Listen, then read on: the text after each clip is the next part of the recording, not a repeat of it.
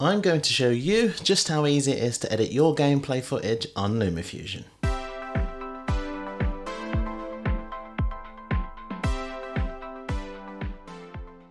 Hey, it's Andre and in today's video I've been playing a little bit of Fortnite on my PS4 again and I'm going to show you just how I would create a top 10 video of my favourite kills from today's gameplay or on LumaFusion. I'm going to use screen recorded gameplay footage from the PlayStation itself, which is done by double pressing the share button on the PlayStation controller, which is then put on a USB stick and then transferred over to my Mac Mini, which I'll be doing all this editing on. I also recorded my talking head footage separately on my Sony ZV-10 connected to my Mac Mini and into OBS, but I decide later on whether I use those clips or not. Even though I'm using LumaFusion on the Mac Mini, the methods in this video will be the same if you use LumaFusion on an iPhone or on an iPad. So let's get over to the computer and start editing. I've got the Fortnite gameplay footage that I transferred over from the PlayStation and the talking head footage all on the desktop. So all I need to do now is open up LumaFusion. And then I'll create a new project which I will call Fortnite footage and I'll need to set the frame rate, which I usually do on my videos in 30 frames per second. So I'll just choose 30 and then I can create a new project. Now I need to transfer all that footage on the desktop and import it all into LumaFusion. So I'm going to select the Finder, choose all the files from the desktop and just quickly drag them over to the imported section. Now LumaFusion will automatically just put those in the shared imported folder as you can see there. Now I've got my talking head footage and my gameplay footage. So because I want my gameplay footage to be at the bottom of the track underneath the sort of the lowest layer, I'll drag that onto the timeline. You can see everything's there from all of my gameplay for that one clip. And now I can drag the talking head footage over the top of it. But as you can see, it's obviously a little bit too big, so that's going to need to be rescaled. So I'm going to click to edit it. I'm going to scale and fit and then I just want to change the cropping of this. So I'm going to crop out all of the black areas just so it's just my frame of my face. And then I'm going to just reduce the size of it as well, just so it can be a sort of manageable size to be to fit on the screen itself and then drag it into place where I want it to be. Next part to do is syncing the audio, just making sure you get the talking head button exactly the right position on the gameplay. So I missed all the audio for this, but I know that I was mouthing the time that it was taking for the battle bus to launch. So I was saying counting down five, four, three, two, one. So I was matching up where that point was at which I was saying it, and then I, it just allowed me to sync the audio between. There you can see I'm mouthing, I'm sort of watching where I'm saying that. So I'm just looking for the part. So in this case, um, I've got the number six on there, six seconds left. So I just need to find the point at which the corresp I'm corresponding that mouth part, which is that part. And I can just drag the talking head part to the right position on the gameplay, and I'm all done.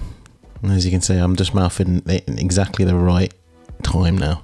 So I did that deliberately while I was recording because I know I would have to do this in the editing process. So I can delete everything before it and now we've got for that clip everything is synced to the, into the right position. And the next thing I want to do is go through that footage on that clip and just find a point of where you want to highlight. For in this case, it's the kill that I get in the game. And then you just want to go just before it just so you can get a good amount, a decent amount of clip length. So when you start the clip, it's at this point forward, and then you just find that point at the end when you want to finish the clip. So at this point, just make that cut, and you can delete everything before it because this is the part where I want to start the clip. And then I'll play it through it, and I'm, so I'm looking for a point where I can it can sort of naturally end. So once I've made the kill, there'll be a point at which the clip will sort of naturally end which is that point there. So I'm just going to drag it probably a little bit forward, make that cut, and then look for the next seam. I didn't actually find another kill in the rest of this game, so I can now delete the rest of the clip that I don't want. So everything after the cut that I made previously, it can all be deleted, and I can add the next Fortnite clip onto the timeline. together with the corresponding talking head clip as well. Because I want all the talking head clips to be exactly the same across every single different clip, I can copy the attributes from the first clip by selecting a clipboard and pressing copy, and then selecting the new clip and selecting the clipboard again and pressing paste. And now it shares the attributes and the position and size as the first clip. So once again, I'm going to go through the clip and just find another point where I make a kill and then make that cut incision just before the clip starts. And then I can delete everything before it. And then find the point right at the end of the kill where I want to end the clip. And then make the cut where I feel is necessary, which is there.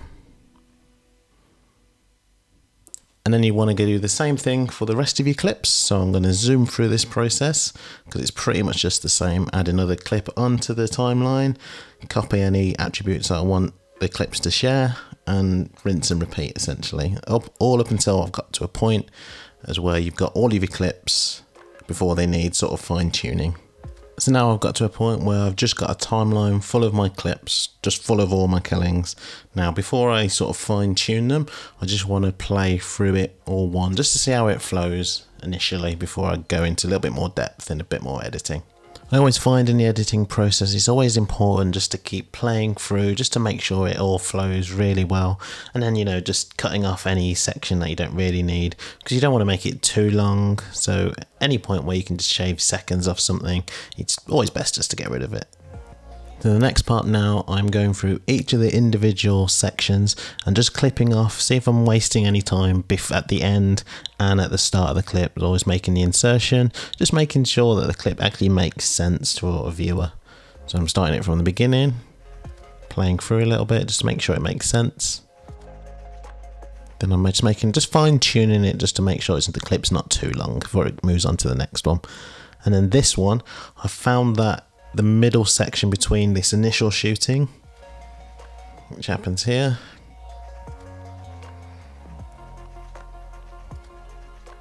Terrible shooting. So the time between this middle section and the section where I'm not actually doing something, actually running up this hill, I don't really need to see that. So I've made an incision at the start of the run until I start seeing this person again. So I'm just going to go back a few frames, make that cut there.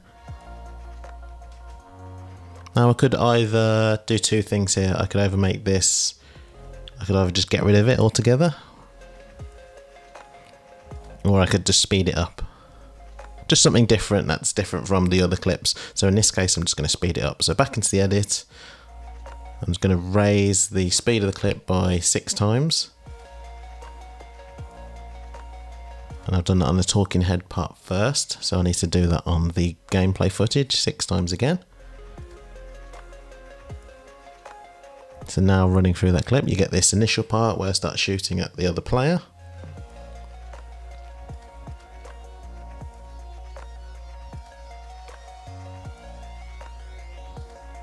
and then you get all that boring part is now zoomed up quickly. So you still get the story but it's zoomed up. You don't need to spend those extra seconds and you get that part the funny the funny gag part right at the end which is at normal speed and then you just want to keep doing exactly the same process for the rest of your clips it's all about going over, just keep checking, just making sure that the flow is always right. I mean, it's quite simple. Once you've got into it and you've got your knack at it, you know, any novice or beginner can do this. Once you've got your framework of how you like to edit, and you can just keep repeating the same process over and over again.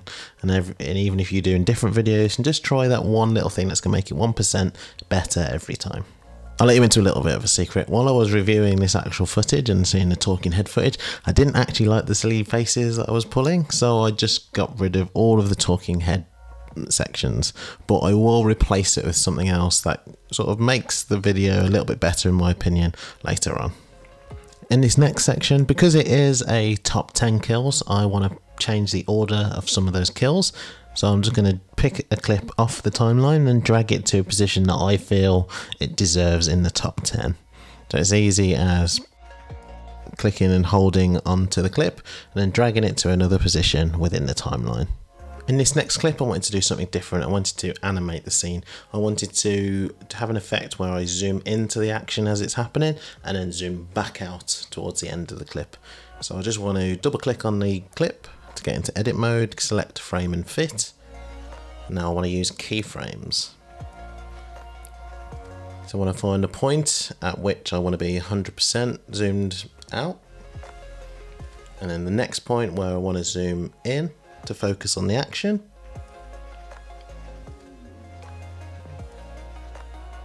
And that's the next keyframe. And then finally I want to select the next point at which I zoom back out to 100% again.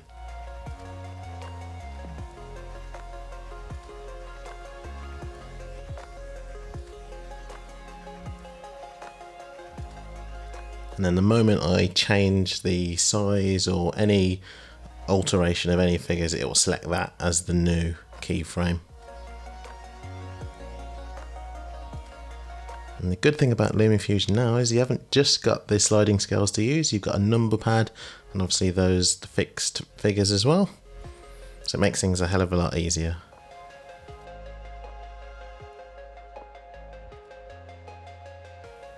So after I've made those final adjustments, just going through again, just making sure everything looks good.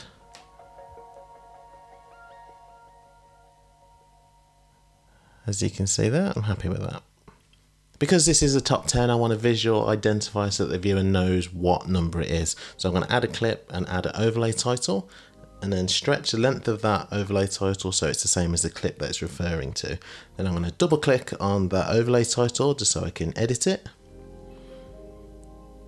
and this gives you a chance to, to look at different styles that you might like but all I want to do here simply is just change what is displaying so I don't want it to say your text here I want it to say number 10 so you click on that box there and then write number 10 or whatever you want in the box and you can just position it to wherever you want it to be. Next you might want to even change the font. Nothing's wrong here, it's just whichever font suits your style.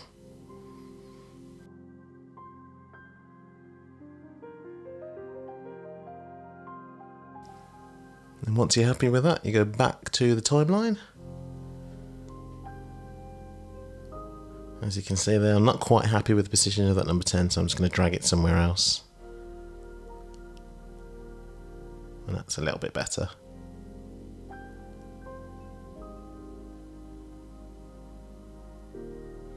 Now, now I want to add some transitions just to give you that effect that it's number 10. So I'm going to try this burst transition first just to see what it looks like.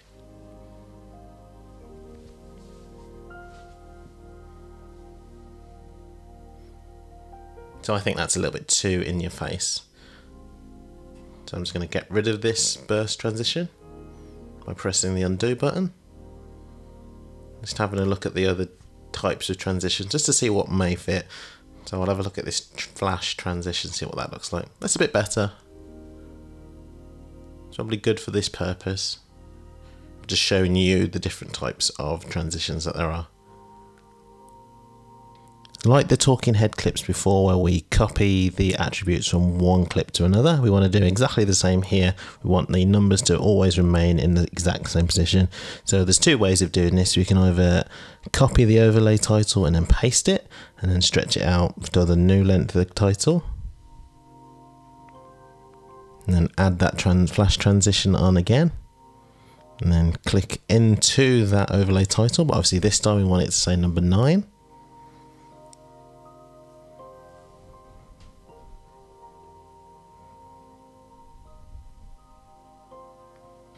And the second way, other than just copying it, is actually duplicating the clip. So that's nice and easy, but this time also we need to reduce the length of that clip to match the third clip, and then we add that flash transition on again, and then go into that clip and then select number 8 this time, and then we just repeat this for all of the other clips.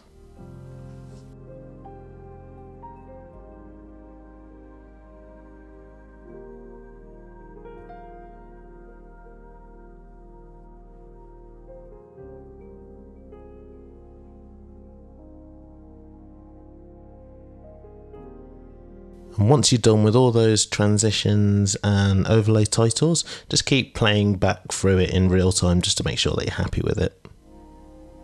Now I wanted to replace the talking head part, so I recorded something on OBS, essentially my reaction to it, so I just needed to import it back into LumaFusion and then add it to the timeline.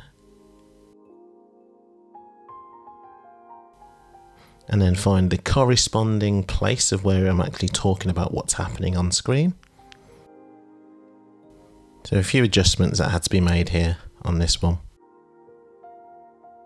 But it's all about practice. Everything that we do here, it's all about practice. Once you do it once, you'll know the routine for the next time you do it, and then it just becomes easier and easier every time you do it. So I've got one of these clips for every single clip in the top 10 that I've done.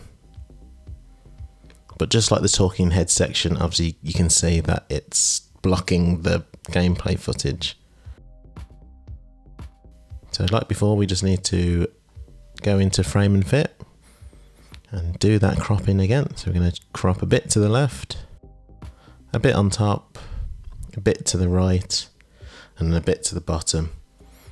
And because this time I don't want it to be quite square, I'm going to add a little bit of edge softness and a little bit of corner radius as well, just so it's a sort of circular frame instead of just the, the bog standard old square frame. And then reduce that size and then place over to the right there. Just something a little bit different for this tutorial. And then play that through just to see what it looks like. I tried to, when I was recording, try to make sure there was center in the frame so that you can, so I appear in the center of the shot at all times. And then once again, we can make any fine cutting adjustments just to take any any of those minor few seconds out that we don't need.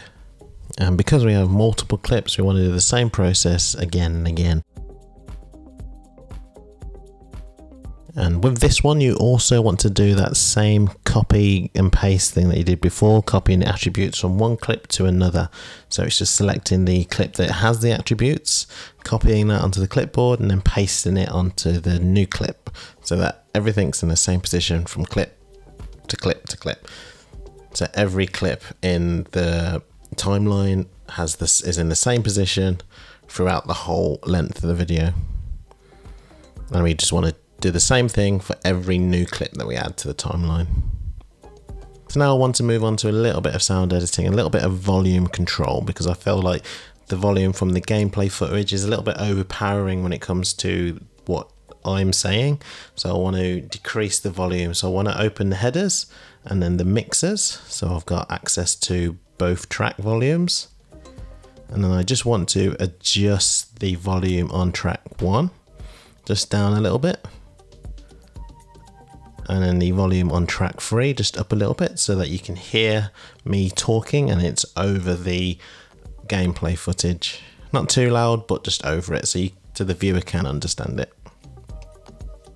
It's always worth, whenever you can, just rechecking over the timeline, just playing the whole thing again and again, just see if you can shave some few seconds off somewhere or just add something that you've missed previously. Now we're almost at the end, all I need to do is add an intro which I've previously recorded, so I just need to import that into LumaFusion and then drag that onto the timeline right at the start. Look at that face. And just cut out any sections that we don't need.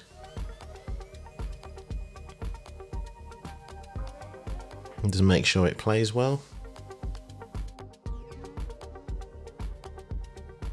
Because we want the sound of this clip on track number one to match the sound of the clips on track number three, we just need to separate the sound clip from that clip and then drag it down to the third audio track. This will just ensure that the volume of this track matches the volume of the other tracks. And then we need to do exactly the same thing for the outro. So import it into LumaFusion then add it to the timeline, extract the sound clip from it and then put it on track number three and then make those final adjustments to the clip. And then have a final review over the whole timeline. Just making sure that you're happy with every segment of every clip.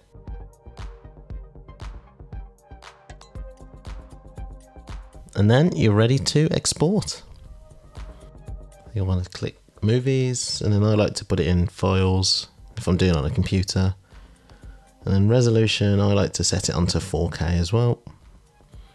And then video quality, ultra, but also dependent on how much space you've got on your device. And then export, and it's right in the movie. And you're done. In context, with all of the editing and everything, only took me just over two hours from start to finish to make this simple top 10 kills video on Fortnite. Yes, with more time it would have been a lot more fancier, but it just shows how easy and simple it can be just to make a video like this. If you want to see the full edited version of this video, I will put it in the end card of this video. I hope if you're a beginner or a novice and use LumaFusion that this video helped and if it did just let me know in the comments below. And also if you've got any other questions about this tutorial or there's something you'd like me to try in the future, just let me know as well. Press the like button if you enjoyed this video, make sure you press the subscribe button to get more videos like this in the future. And also press that bell icon to get notified every time I release a new video. Thanks for watching the video. I'll see you on the next one.